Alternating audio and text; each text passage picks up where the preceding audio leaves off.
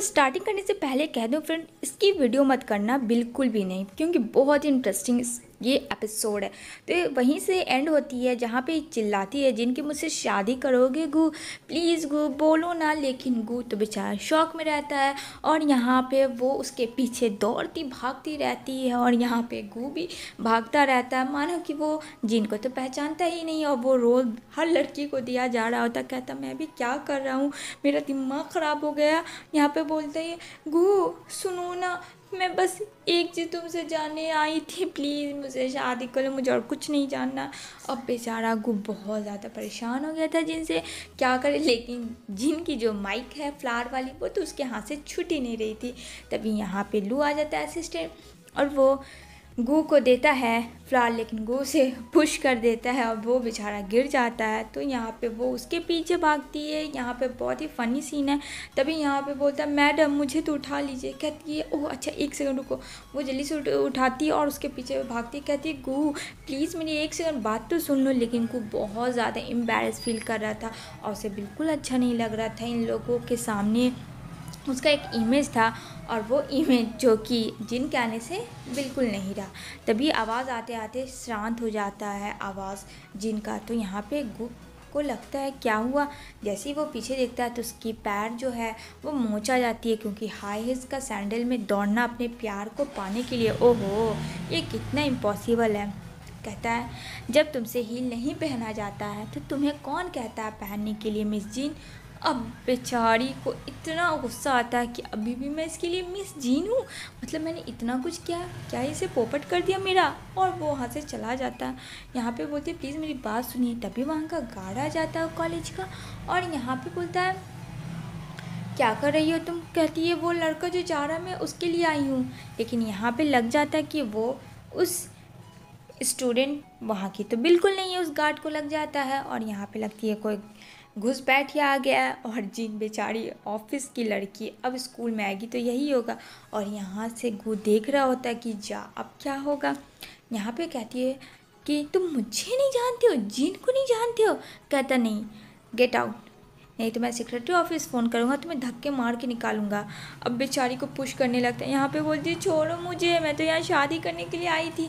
तभी वहाँ पे जल्दी से गु आ जाता है। अगू बोलता, सर, सॉरी, एक्चुअली ये रिहर्स था। हम लोग एक गेम प्ले कर रहे हैं जिसके लिए सबको इनवाइट किया गया था।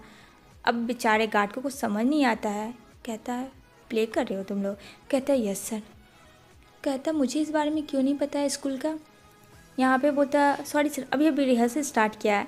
अब यहाँ पे जिन पे चिपकने का मौका मिला, और भला जिन चिपके ना घुसे, ऐसा तो हो ही नहीं सकता है।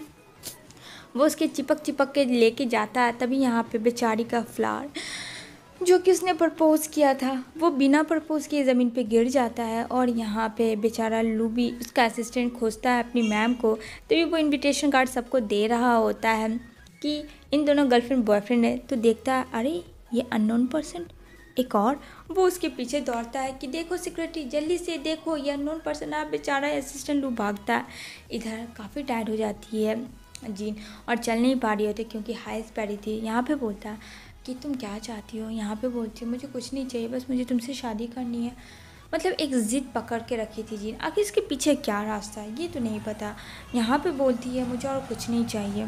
मुझे बस तुम्हारा साथ चाहिए। मुझे तुमसे शादी करनी है। यहाँ पे बोलता है वो, मैंने कितनी बार तुम्हें कहा कि मैं तुमसे शादी नहीं करूँगा। और इतना कह के वो वहाँ से चला जाता है। और यहाँ पे वो बेचारी नहीं चल पाती है, लेकिन अब वो इनोसेंट सा स्वीट सा बंदा है, वो जाता है जिनके पास और कहता है सैंडल को खोलो इसे, ठीक है? और फ़ूड नहीं है तुम्हारे पास? कहती है, नहीं, मैंने फ़ूड लाना भूल गई। तो कहता है, जब तुम नहीं चल सकती थी हील में तो इतनी हाइस की पहनने की क्या ज़रूरत है? क्या चाहिए तुम्हें मुझसे? वो दोनों हाथ फैला लेती है। दे लो ना गोदी प्लीज़ मुझे गोदी में ले लो ना। वो उसके शर्ट को ट्विन ट्विन करने लगती है। अब बेचारा अग्गू उसके पास ऑप्शन नहीं होता है। वो उसको चिपक जाती है, उसे हक करने लगती है। कहती है, ले लो ना प्लीज़ मुझे और कुछ नहीं चाहिए। मुझे गोद में उठा लो ना। कहता है ओके ये लास्ट टाइम है। वो उसे गोद में उठाता है और लेकर चलता है, जो कि जिनके लिए तो मानो उसकी ज़िंदगी का बहुत खुश नसीब पल है। और यहाँ पे फिर भी बाज नहीं आती है लड़की। कहती है, गू, तुम्हारी हार्ट बीट ना बहुत तेज चल रही है। धक धक धक धक, और वो उसको कान लगा के सुनती है। तो कहता है, गु, ये मेरी हार्ट नहीं है, तुम्हारी होगी। कहती है, नहीं, मैं सुन रही हूँ। ये तुम्हारी है। बेचारा जैसे तैसे करके उसे चेयर पे लेके जाता बैठने के लिए। यहाँ पे कहता है, गु, कि यहाँ पे तुम्हें लू आएगा और तुम्हें रिसीव कर लेगा। यहाँ पे कहती है I need to get married now please कर लो मुझसे शादी। मुझे इस तरीके से छोड़ के मत जाओ।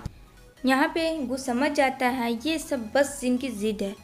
यहाँ पे कहता है टेल मी ऑनेस्टली प्लीज़ कि ये सब तुम क्यों कर रही हो? और किसके लिए कर रही हो? यहाँ पे कहती है, मैं जो बोलूँगी, उस बात पे तुम यकीन करोगे? कहता हाँ। यहाँ पे कहती है कि जब मैं बाढ़ जाती थी, मुझे तुमसे फास्ट साइट लव हुआ था। आई डोंट नो तुम्हारी तरफ़ से हुआ भी था या नहीं, मुझे नहीं पता। लेकिन मैं बार रीज़न यही था जाने का कि तुम्हारा सिंगिंग सुन सकूँ। और यहाँ पे इतना कह के वो वहाँ से चला जाता है। बेचारी काफ़ी सैड हो जाती है। तभी वहाँ पे लू आता है, कहता है, मैम आपकी गाड़ी मैं रेडी करवा रहा हूँ। सब ठीक है टेंशन मत लो। और वो चला जाता है। यहाँ बेचारी जिन अकेली हो जाती है चुलबुली सी लड़की, तभी साइकिल पे कोई लड़का आता है और यहाँ पे वो उसे देखती है कि ये क्या है। तभी यहाँ पे फुटवेयर लाता है, स्लीपर जो कि जिन के लिए था और यहाँ पे गुल आता है ताकि उसको जो चोटें लगी थी पैरों में, वो उसके हील्स को उतारता है और स्लीपर को पहनाता है। ये सब देख रही होती है जिन और कहती है, तुम बिल्कुल मेरी मॉम की तरह हो, मेरा केयर करने के लिए। मुझे तुम्हें देखकर मेरी माँ की याद आई। यहाँ पे बोलता है अच्छा मैं तुम्हें तुम्हारी मॉम की याद दिलाता हूँ। मुझसे शादी करोगी? अब तो ये सुन के जिन काफ़ी शौक में चली जाती है, उसे लगता है कि वो मज़ाक कर रहा इतना कह के फिर से वहाँ वहाँ से चला जाता है। और वो सोचता है कि किस तरीके से वो गात्या था और यहाँ पे आती थी जिन बार बार दोनों लोग यही चीज़ सोच रहे थे, क्योंकि इसका सिंगिंग बहुत अच्छा था और यहाँ पे दौड़ के यूनिवर्सिटी जाता है। मानो उसकी कोई चीज़ वहाँ मिस हो गई होगी। और यहाँ पे ये काफ़ी खुश हो रही होती है जीन कि उसने हाँ कहा। और यहाँ पे जैसे ही आता है लू, वहाँ से वो गायब रहती है, जो कि वो एक्साइटेड हो रही थी बैठ कर गू के बाईसाइकिल में और दोनों लोग काफ़ी इन्जॉय कर रहे थे। और यहाँ पे वो सब दोनों का ड्रीम होता है। तभी यहाँ पे जो गु भाग के आता है और कहता है, एक डस्टबिन वाले से कि प्लीज़ मुझे ये फ्लावर चाहिए जो कि जिन लाई थी उसके प्रपोज़ल के लिए और वो उसे पैसे दे के लेके जाता है। कहता है थैंक यू इसी के साथ ये एपिसोड एंड होती है।